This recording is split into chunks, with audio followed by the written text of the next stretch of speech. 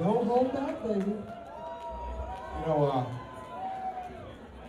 this song, um, you know, I think uh, we've all had a real rough week as far as the news is going this week, and this is a song about that really terrible thing that happened in the news, or what happened with that local sports team, or that other thing that happened that I'm sure we all know about. It's called Ganga.